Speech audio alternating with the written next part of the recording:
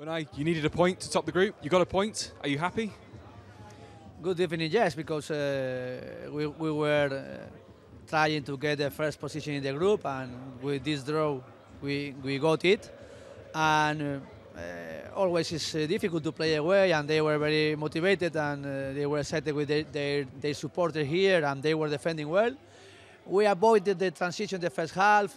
We didn't get really good chances to, to score, but we were passionate. Uh, we were trying to to to control of the game like we were doing the first half, and they tried to, to get their balls and to score like we did. And of course, uh, they pushed the last the last minute. They were trying to, to draw, and they, they got it.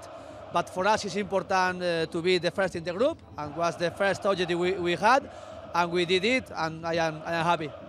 In terms of the players that, that came in, you spoke about them needing minutes in their legs.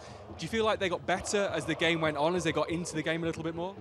Uh, our objective was clear and try to, to use different players as well, try to get uh, confident with some players, play minute with uh, another player they were coming back after the injury, and at the end, of course, uh, we were trying to manage in uh, 90 minutes the objective, the, the, main objective we had, and was uh, to play with some players taking minute, taking confidence, and then try to, to get the first position in the group in terms of Nicolo Zaniolo, got his first goal for the club this evening. Lovely finish as well. You must be very happy for him.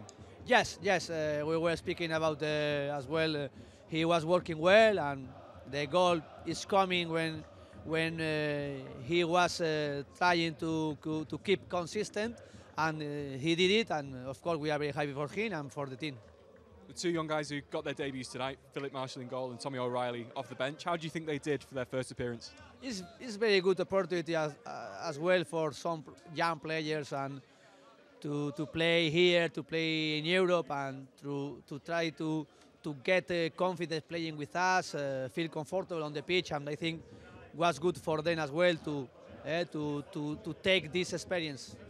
As you look back at the group stage now, how do you reflect on it? Something to look forward to now the knockouts in the new year? Um, now we are going to try to enjoy the, this competition. Uh, we, we, we, we, have to try to to get uh, confidence and keep being consistent in, in, in, in, Conference League. And now we are going to, to rest for for the next uh, round. And uh, of course, focusing in, Premier League now our, our, our matches be, before to, to finish the, the this this year. Thank you, Unai. Thank you very much. Thank you.